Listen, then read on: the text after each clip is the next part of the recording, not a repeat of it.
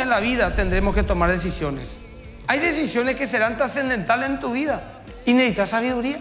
Tomás tu decisión en base a tus emociones o en base a lo que Dios te pide. Más que vencedores, domingo a las 10, solo aquí. 13, siempre conectados.